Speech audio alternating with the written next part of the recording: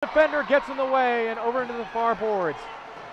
Tom Wetzel now tries to wrap it around. Little disruption there by the defenders. 25 seconds left to play in regulation here at Bird Arena.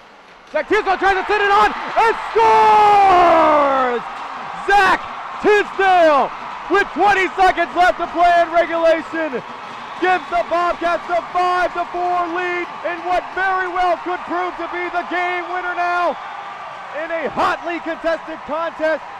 Zach Tisdale, the senior out of Pleasantville, Ohio, goes top shelf, top corner for the Bobcats who take the 5 to 4 lead. Justin, you talk about a minute that could be crucial as the Bobcats move forward. It looked as if overtime was imminent. It looked as if West Virginia was going to take this Ohio team to the limit and beyond, and Zach Tisdale with a spectacular goal. Rob Borky falls to his knees in disbelief as with 20 seconds left in regulation, what a seesaw matchup these fans have been treated to tonight here at Bird Arena.